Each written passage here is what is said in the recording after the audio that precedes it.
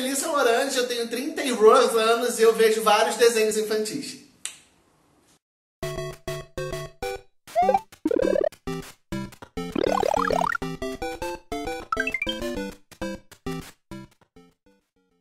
Eu já fiz vários vídeos nesse canal falando sobre questões de representatividade e também sobre empresas. A gente tem um vídeo sobre a questão queer na Disney, a gente tem vídeo sobre clichês gays, sobre representatividades múltiplas e hoje a gente tem um vídeo positivo, olha que coisa bonita, sobre a questão queer na DreamWorks, especificamente nas animações da DreamWorks. E assim, eu digo que é positivo esse vídeo porque eu vou falar coisas interessantes sobre como personagens LGBTs são retratados nas animações da DreamWorks. Em Shrek, a gente tem a irmã feia, que é uma mulher trans. No primeiro filme, eu entendo que existe toda uma questão transfóbica, de que essa irmã feia é feia por ser trans, né? E ela é um personagem usado para alívio cômico, né? Ah, ah, ah, ela é feia porque ela é trans. Eu posso ser cancelada com o que eu vou dizer agora, mas ao meu ver, de pessoa cis, né? Então, sim, meu lugar de fala aqui. Essa personagem da Irmã Feia, ela tem uma nova roupagem nas animações dos filmes seguintes. Inclusive na cena onde todas as princesas se unem, né, pra aquele momento super feminista delas fugindo da prisão, a Irmã Feia está junto e ela é tratada como mulher e como princesa, igual a todas as outras mulheres que lá estão eu acho que fica um lugar meio sensível, porque ela segue sendo essa irmã feia, esta pessoa que é feia, né? Porque ela não tem essa carinha de princesa, assim, gênero igual a todas as outras. Porém, nenhum momento alguém questiona a validade da identidade de gênero dela. Ela segue sendo a irmã feia. E a gente tem, sei lá, um momento de redenção da, dela, não sei, mas ela passa a ser importante na história, ela passa a participar né, da narrativa ativamente. E aí você, pessoa trans, pode me dizer agora aqui nos comentários o que, que você acha dessa personagem, se vocês notam que tem alguma mudança em como ela é tratada na narrativa ou não, tá? Tá aqui embaixo os comentários abertos para que você, por gentileza, se expresse. E aí, em Como Treinar o Seu Dragão 2, o inimigo agora é outro, a gente tem o Bocão, que é o ferreiro da cidade, falando em algum diálogo, deixando um subtexto de que ele tinha um namorado. Então, foi um escândalozinho na época, dizendo Ah, DreamWorks botou um personagem gay como treinar seu dragão. Mas era tipo uma passagem assim, que a gente falava Ah, maricona, te reconheço. Mas, porém, contudo, entretanto, todavia, daí esse personagem, né, declaradamente gay, canônico, em desenho para crianças para crianças, né? Porque eu vou ao cinema e eu assisto todas as animações e eu já deixei de ser criança há pelo menos uns 25 anos. E agora a gente dá um salto no tempo e vai falar sobre as animações em 2D da DreamWorks que saem para Netflix especificamente, que equipe os Animonstros Shira. E eu vou começar com Shira. Não vou falar sobre o casal que se forma na última temporada, porque eu acho ele problemático. A gente tem um outro vídeo aqui sobre isso que vai estar na nossa tela final para vocês assistirem se gostarem. E se já tiverem assistido na né, última temporada, para não rolar aquele spoiler. Eu vou falar das personagens lésbicas, o casal lésbico que está lá desde a primeira temporada, que é a Netossa e a Spinnerella. Elas são duas princesas que fazem parte do Conselho de Guerra, elas não são, nas primeiras temporadas, as protagonistas, elas não estão o tempo inteiro lá com a Shira e, a, e a Cintilante, a Glimmer, né? Até porque, pelo que eu notei, elas são mais velhas do que elas, então elas estão em outra vibe aí de cuidar do reino delas de outra forma. Mas enfim, elas são um casal oposto colocado, as pessoas sabem, isso é dito, não fica subentendido, essa é minha mulher, essa é minha outra mulher, nós somos um casal, nós somos casados, nós nos amamos. E ninguém em nenhum momento fala nada, ninguém questiona nada, ninguém pergunta nada. É absolutamente natural, normal, comum, diria até o que? Ordinário que esse casal tenha se formado. E é muito legal porque na última temporada, se você não viu, pula aí uns 20 segundos para rolar um spoiler, tem toda uma questão da Netosa tentar recuperar a Spinnerella que está sob controle, né, do mestre da horda. Então, assim, não é um dos plots principais, mas é um plot muito importante e tem todo um peso, porque ela tá tentando recuperar a amada, não só a aliada pra guerra, mas também a amada dela, e é toda uma questão super tensa. E aí a gente tem um personagem trans não binário, ou sei lá, gênero fluido, não sei muito bem como é que a gente encaixaria esse personagem, que é o Double Trouble, ou em português encrenca dupla. Eu me recuso, eu vou falar Double Trouble porque eu acho muito mais legal. Que é um personagem metamorfo, então ele pode assumir basicamente qualquer forma, de homem ou de mulher. E assim, é muito legal sobre o Double Trouble que quando os personagens se referem a Double Trouble, eles usam em inglês, né, a língua original da série, o pronome they. É um pronome para falar de pessoas não binárias. Então é muito legal porque isso também é posto, dito, falado e, e assim, em nomear isso, botar num pronome é muito importante, porque você normatiza o uso desse pronome. E a gente entende, sabe que a luta da população trans de modo geral sobre o uso de pronomes é muito importante, principalmente a galera que é não binária ou gênero neutro. E aí, assim, os personagens utilizarem esse pronome sem nenhuma questão é muito importante. É como se todo mundo reconhecesse o gênero não binário, não homem e mulher, cis ou trans daquele personagem. Além disso, a gente ainda tem o quê? O casal de pais do arqueiro, do Bo, não sei em qual língua vocês assistem. O arqueiro lá, aquela toque de cropped que a gente até hoje não sabe qual é a sexualidade dele, porque não interessa, não é mesmo? Porque no meio da guerra a gente tem umas outras preocupações. Mas enfim, ele tem dois pais negros, né? Porque ele é um personagem negro, ele tem dois pais negros, um deles inclusive de dread, que é pra deixar bem marcado que são personagens negros mesmo, não foi qualquer outra questão para a colorização da pele daqueles personagens. Eles estão representando pessoas negras. E é um casal de homens negros que não tem só o arqueiro como filho. Ele é o filho mais novo, que não seguiu a carreira de arqueólogo do, dos pais.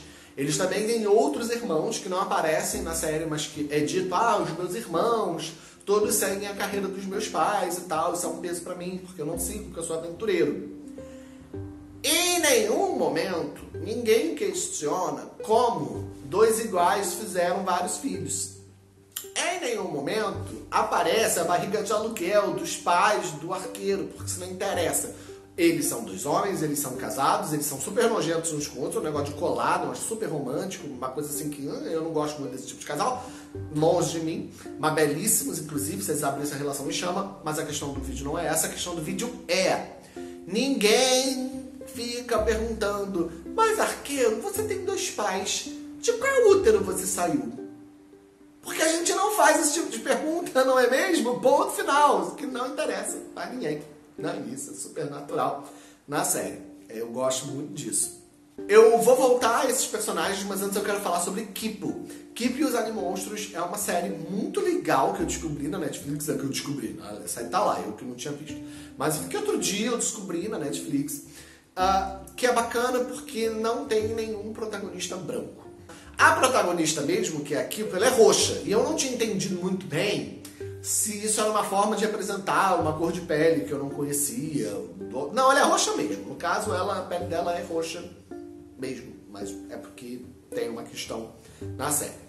Mas os companheiros humanos dela, porque ela tem né, quatro companheiros, um é um porco mutante, um é um besouro mutante e o outro é uma menina negra e um homem negro. Pra mim é uma das séries mais queers que tem, porque você tem uma personagem que é um mutante, né? Você tem dois personagens negros, um desses personagens negros é gay, que é o Benson, e outra personagem negra não é uma mulher característica igual a todas as outras. Ela também é bem queer porque ela tem todas umas questões que a gente normalmente assimila personagens masculinos. Ela que é lutadora, ela é super agressiva. Quando tem um episódio que ela vai pro mundo dos sonhos perfeitos, ela tá com um corpo musculoso, masculino e tal. É porque ela é uma criança, né? E essa é a visão dela de força. Mas o que eu quero chamar aqui a atenção é sobre o Benson.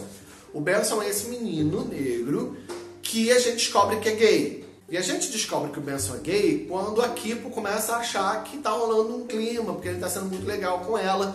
E ele vira e fala: Então, Kipo, desculpa, sim, eu não queria ser grosseiro com você, você é ótimo, maravilhosa, mas no caso eu sou gay. E aí, qual é a reação da Kipo, que até então achava que ia rolar uns beijinhos? E não tinha percebido, caraca, onde é que eu tô com a cabeça? Foi mal. Segue o baile. Ninguém ficou triste, ela não deixou de ser amiga dele, ela não teve uma reação homofóbica, nada disso. Mas sobre o Benson, o mais legal é que em determinado momento ele vai até o esconderijo da Kipo e ele se apaixona perdidamente por um rapaz que se chama Troy.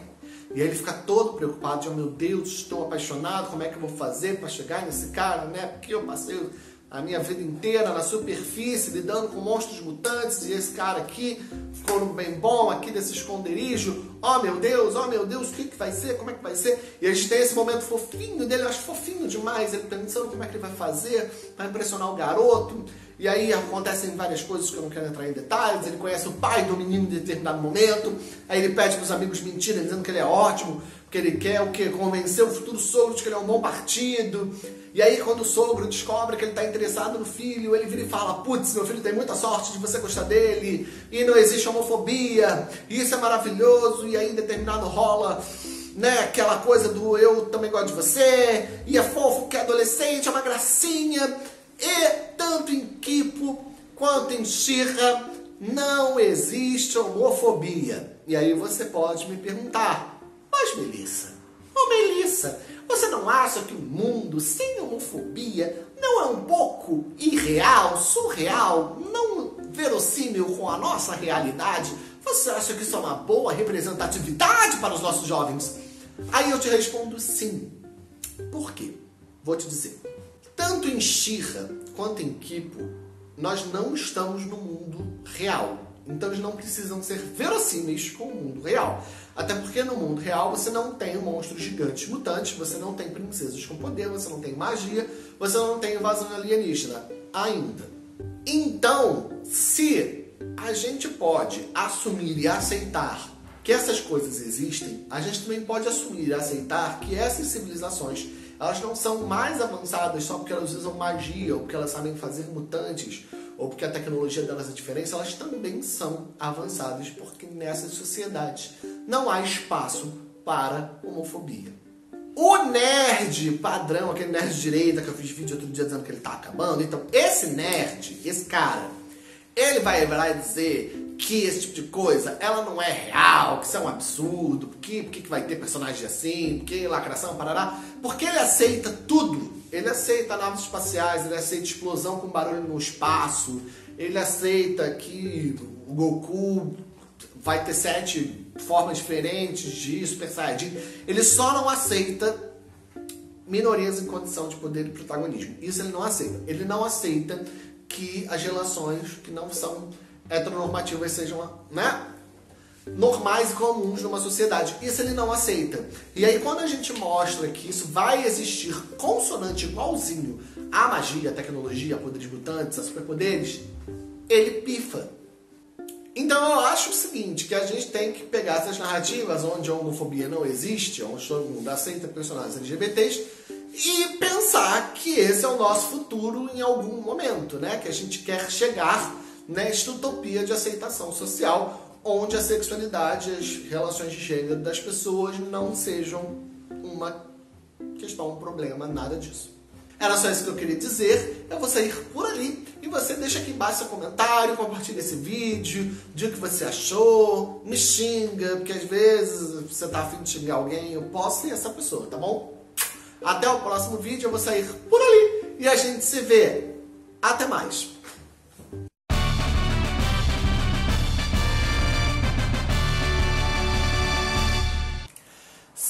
tivesse 15 anos, que é uma coisa que eu não tenho há mais de 15 anos, eu estaria procurando fanfic do Benson do Troy na internet?